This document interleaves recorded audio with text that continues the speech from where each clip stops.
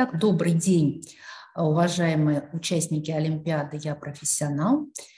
А, я рада приветствовать вас на сегодняшнем методическом вебинаре, который будет посвящен подготовке к заключительному этапу Олимпиады по направлению индустрии питания. Ну, в первую очередь хотелось бы поздравить всех тех, кто у нас прошел финал Олимпиады. Ну и сегодня а, цель нашего методического вебинара – разобрать с вами вопросы, задания э, заключительного этапа для того, чтобы вы успешно к нему подготовились.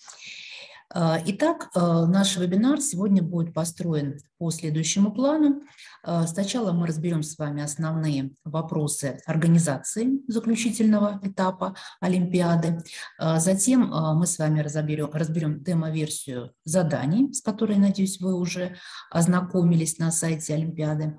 Поговорим о системе оценивания заданий. Ну и, наконец, а, в конце нашей встречи я отвечу на те вопросы, которые у вас возникнут. Вы можете задавать свои вопросы по ходу того, как я буду рассказывать, записывая их в чате, ну или в конце а, моего а, вебинара, и вы сможете, соответственно, устно их задать, кому как удобно. Э, итак, начнем с вопросов, касающихся организации заключительного этапа Олимпиады. Ну, во-первых, э, надо сказать о том, что Олимпиада у нас пройдет в очном формате. Определены даты проведения вебинара. Это будет 8 апреля. Э, вебинар, Олимпиада у нас начнется в 10 часов утра по московскому времени. Обращаю ваше внимание, что время указано именно московское. Это связано с тем, что у нас с вами соревнования пройдут на трех площадках в разных регионах, в разных часовых поясах. А, соответственно, для того, чтобы соблюсти принцип территориального равенства, а, мы назначили вот такое единое время, московское 10.00. Э, площадками наших соревнований будут Санкт-Петербургский политехнический университет, Самарский национальный исследовательский университет и Томский политехнический университет. Ну, каждый из вас выбрал ту площадку, на которой вы будете проходить заключительный этап Олимпиады. Э, продолжительность заключительного этапа нашей Олимпиады составляет 4 часа. За это время вам предстоит выполнить 6 заданий, которые будут включены в ваш вариант. И задания у нас все участники выполняют на компьютере в режиме реального времени.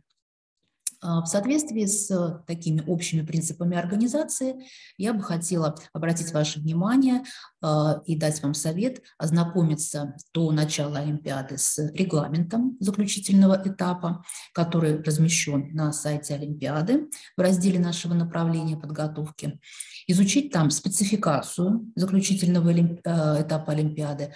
Обращаю ваше внимание, что спецификация она находится в едином файле с демо-версией задания, ну и, соответственно, проработать саму демо-версию задания. А, во время Олимпиады э, обращаю ваше внимание на то, что все участники э, должны иметь документы, удостоверяющие личность, да, чтобы мы могли проверить, так, кто у нас пришел на э, Олимпиаду. Каждый участник будет обеспечен персональным компьютером с выходом в интернет. А, почему мы решили именно э, сделать Олимпиаду с работой на компьютере, потому что э, наши задания, они требуют э, пользования рядом нормативных документов, с которыми вы можете ознакомиться в спецификации к демоверсии Олимпиады. Э, соответственно, такими документами являются, например, ГОСТы, технические регламенты таможенного союза, сборники технологических нормативов, справочники химического состава пищевых продуктов. Э, этими документами вы в процессе выполнения заданий сможете пользоваться. И, соответственно, чтобы вам был предоставлен доступ к ним, вам нужно иметь компьютер. Поэтому мы э, все задания будем выполнять на компьютере. Вам будет предоставлен бланк задания э, в электронном виде, который вы в электронном виде будете заполнять. Э, значит, во время Олимпиады вы можете с собой взять на рабочее место питьевую воду, шоколад, кому нужны очки, могут быть у вас канцелярские принадлежности, мы вам выдадим бумагу для черновиков, кому это требуется, ну, потому что кто-то, может быть, там хочет э, что-то на бумаге какие-то там расчеты произвести, какие-то там что-то нарисовать, построить, прежде чем делать это, например, на компьютере. Поэтому это допускается. Пользование. Проводится, можно брать Короче, А, обязательно. обязательно. Либо отключить, отключить, э, Эшкол связь, предоставит. что там у нас пробивается. Э, Выключите микрофончик. Значит, э, также дополнительно вы можете пользоваться калькулятором, если он вам требуется. Тоже вы можете с собой взять обычный калькулятор, хотя, в принципе, у вас калькулятор будет на компьютере. Ну, если кому-то проще, можете его с собой брать.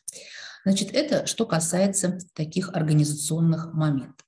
Теперь мы перейдем с вами к разбору э, демо-версии задания Олимпиады. Э, Как я уже сказала, а, само задание Олимпиады будет включать в себя шесть а, заданий. А, И обр- обращаю ваше внимание, что все эти задания, они между собой взаимосвязаны и объединены единой темой. То есть, по сути, в ходе выполнения задания вам необходимо будет, а, если в двух словах да, обобщить, то разработать концепцию и организационно-технологическую часть проекта конкурентоспособного предприятия питания. А, Какие же задания у нас будут включены в а, нашу Олимпиаду? Ну, первое задание будет посвящено разработке концепции доготовочного специализированного предприятия питания, которое ориентируется на выпуск какой-то однородной кулинарной продукции. А, Исходными данными для выполнения этого задания у вас будут являться место расположения предприятия и площадь помещения. То есть, исходя из этих исходных данных, вы должны будете разработать концепцию предприятия. А, Соответственно, следующим заданием под эту концепцию вы должны будете составить меню этого предприятия питания. А, Здесь представлены составляющие меню. Это обязательно должно быть наименование блюд, а, это должны быть выходы блюд и цены. А, В основной ассортиментной группе должно быть от 6 до 8 наименований блюд. То есть слишком раздутое меню делать не нужно. Также э, есть требования по количеству ассортиментных групп от 3 до 6. А, То есть вот в этих пределах вы должны разработать количество ассортиментных групп. Там, например, холодные закуски, там горячие блюда, напитки, допустим. Но это все будет зависеть от концепции вашего предприятия и от его типа. А, Далее на основании меню вы разрабатываете оперативный план работы предприятия, который включает производственную программу и планово-расчетное меню. А, Вам будут представлены формы таблиц, по которым вы должны будете представить производственную программу и планово-расчетное меню. А, э, Далее из основного ассортимента продукции в четвертом задании вы должны будете выбрать наиболее характерное блюдо, ну, это может быть фирменное, например, блюдо вашего предприятия, и составить на него технологическую карту. То есть мы должны будем проверить ваше умение пользоваться и разрабатывать технологическую документацию. Понятно, что для разработки технологической карты вам потребуется, например, сборник рецептур, вам потребуется может быть а, справочник химического состава пищевых продуктов. Поэтому на этом этапе как раз вы можете воспользоваться справочными материалами из интернета, которые у вас указаны в спецификации демо-версии задания. Обращаю ваше внимание, что в этом задании нужно будет разработать также, э, вернее, э, рассчитать также пищевую ценность блюда, на которое вы разрабатываете технологическую карту. И э, обращаю ваше внимание, что расчет необходимо представить. То есть не просто указать конкретные цифры, там получилось у вас 10 грамм белков, 15 грамм жиров, 30 грамм углеводов, а вы должны показать, как вы эти значения получили. То есть ваши расчеты, они тоже будут оцениваться. А, Далее вы должны будете а, определить виды тех полуфабрикатов, которые вам необходимы для производства кулинарной продукции в вашем доготовочном предприятии, разрабатываемом, А, и разработать организа- карту организации рабочих мест, то есть какие рабочие места у вас будут в соответствии с вашим технологическим процессом, какое оборудование вы на этих рабочих местах предусматриваете. То есть это тоже у вас отдельное вот такое задание. Ну и, наконец, заключительное задание а, вашей работы будет заключаться в расчете планируемого годового объема товарооборота вашего предприятия. А, Тоже будет задана форма таблицы, в которой вы должны будете произвести этот расчет. Вот таким образом у вас формируется такое единое скажем так, решения определенного кейса с заданными условиями, которые были определены в его начале. В соответствии с нашим заданием хотела обратить внимание на то, как оно будет оцениваться. А, система оценивания у нас предусматривает 100-бальную оценку, при этом каждое задание у нас оцениваться может от 10 до 20 баллов. Ну вот вы видели на предыдущем слайде, я вам показала, да, последней колоночке у нас указано, какое количество баллов может быть присуждено за выполнение каждого из заданий. То есть какие-то из них более, какие-то менее трудоемкие, поэтому соответствующие баллы могут быть выставлены. Но это, опять-таки, подчеркиваю, максимальные баллы, которые вы можете получить за то или иное задание. А, если у вас задание, например, решено частично, да, имеются какие-то ошибки в расчетах или просто не полностью оно представлено, то в этом случае количество баллов за задание может быть снижено и может быть оценено в среднем от 25 до 75 процентов от того максимального количества, которое предусмотрено за выполнение этого задания. А, хочу обратить ваше внимание на основополагающие критерии оценивания заданий. Ну, первый из критериев – это полнота представления материалов, то есть то, насколько вы полно а, ответили, скажем так, на поставленное задание. А второе – это наличие и правильность расчетов. То есть те задания, которые требуют расчетов, вы должны представить расчет, представить результаты для того, чтобы комиссия смогла оценить, насколько вы правильно владеете методикой расчета. Если будут просто цифры без расчетов, ну, как я вам э, привела пример, да, при расчете, например, пищевой ценности, то мы не можем оценить правильность вашего расчета только по готовым цифрам. Поэтому мы должны видеть сам расчет а, насколько вы правильно умеете пользоваться формулами, например, при расчете производственной программы предприятия питания. Следующий критерий – это креативный подход. То есть, ну, в основном этот креативный подход, конечно, мы оцениваем на этапе выполнения первого задания, где вы разрабатываете концепцию своего предприятия питания а, оценивается на то, насколько реализуются вообще представленные важными решения. То есть если это какая-то заоблачная концепция, да, которую реально реализовать невозможно да, в нынешних, например, условиях, то, конечно, высоко мы оценить такую а, работу не можем. Поэтому здесь вы тоже должны понимать а, современные тренды развития индустрии питания, что сейчас востребовано, какие направления веяния существуют, то есть для того, чтобы разработать действительно как бы актуальный, востребованный продукт.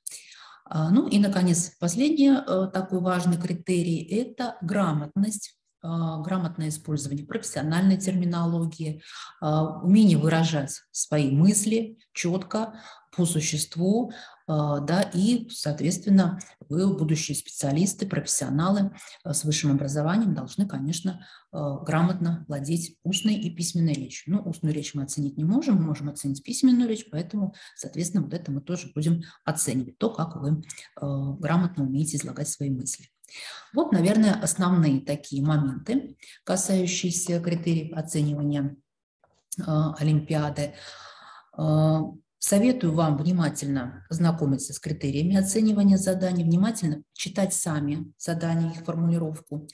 Э, ну и лишней как бы, информации представлять в выполнении задания не нужно.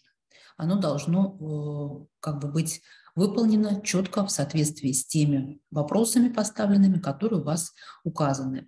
Потому что лишняя представленная информация, она оцениваться все равно не будет, а вы просто потеряете на это время.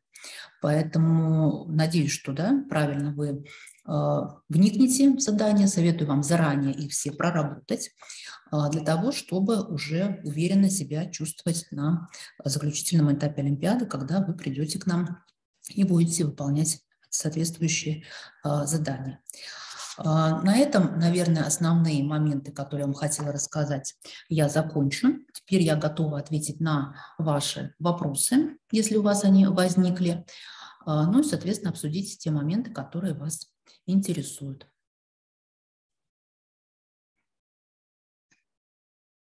Пожалуйста, если какие-то вопросы.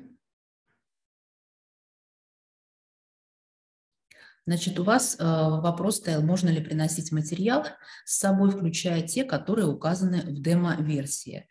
С собой приносить ничего нельзя, вы можете пользоваться электронными версиями тех документов, которые указаны в демо-версии. Да? То есть у вас доступ будет к интернету. Вы можете открыть любой там нормативный документ в интернете. С собой в бумажном, на бумажном носителе приносить ничего нельзя. Надеюсь, я на вопрос ответила. В интернете можете искать да, то, что вам удобно, что вы хотите. Да.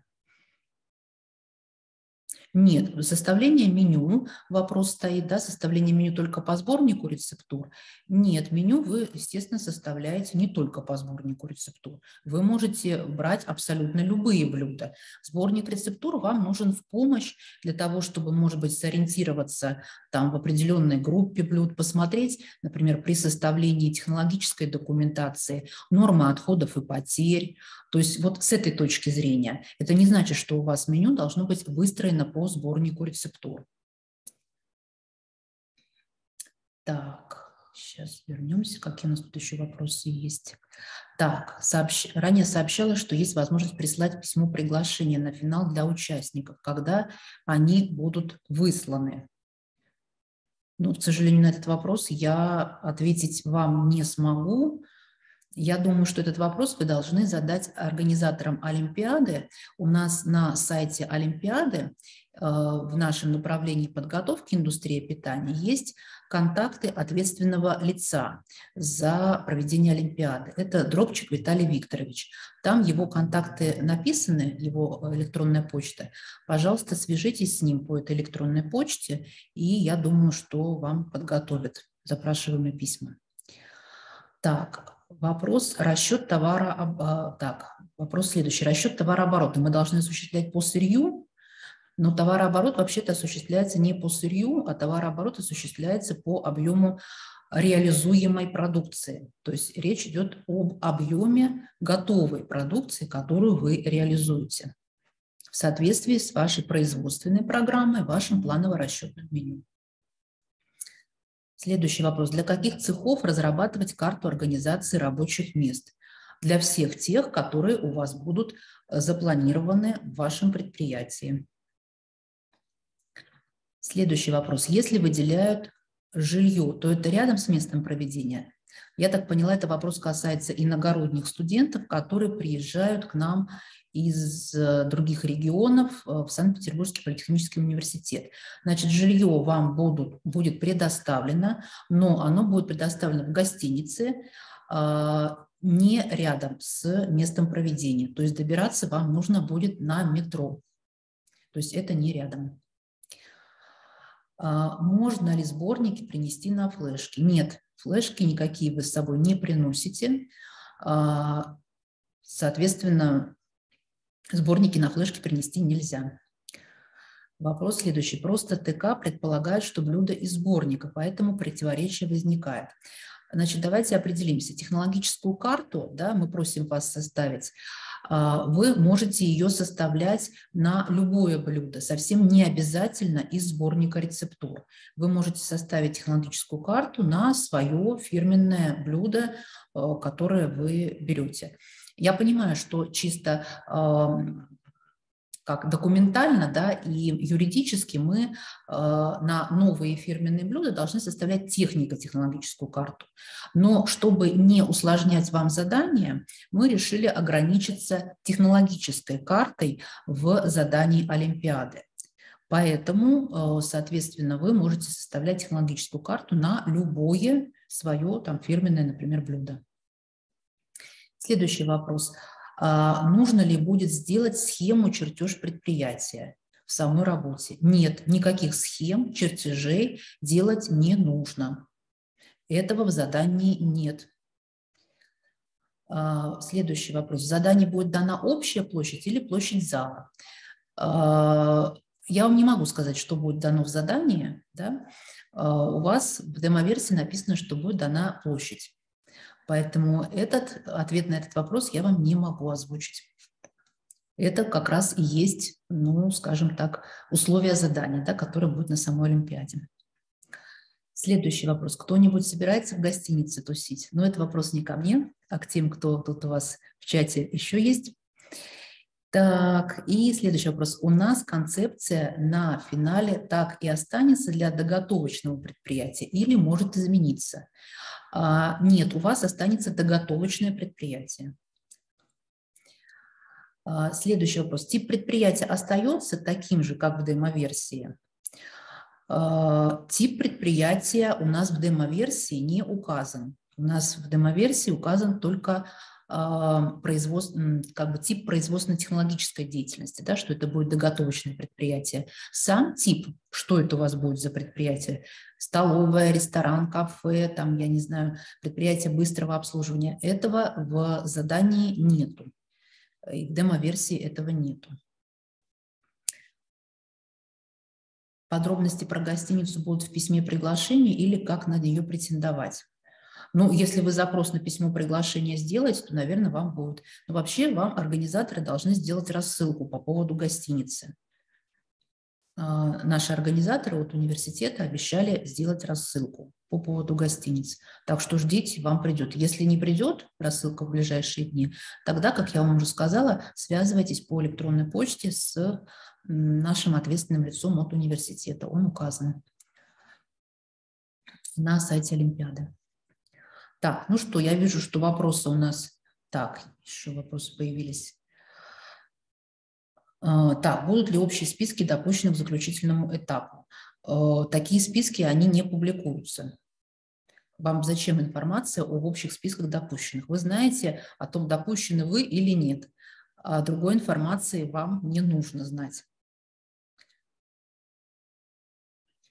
Так, ну вот тут спрашивают ребят, э, ребята говорят о том, что им звонили и спрашивали по телефону, нужна ли гостиница. Ну, значит, скорее всего, тех, кому еще там не звонили, иногородним ребятам, либо обзвонят э, в ближайшее время, тогда ждите звонков, а, и э, либо, соответственно, пришлют вам информацию по электронной почте, ну или по тем контактам, которые вы оставляли.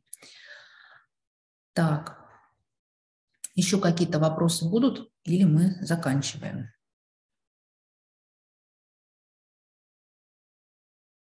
Больше вопросов нет, да? Ну, тогда, если вопросов нет, а, то благодарю всех за участие. А, желаю вам успешной подготовки к заключительному э, этапу Олимпиады. Вот. Ну и, конечно, успешного прохождения заключительного э, этапа Олимпиады и получения достойных наград. Всего вам доброго.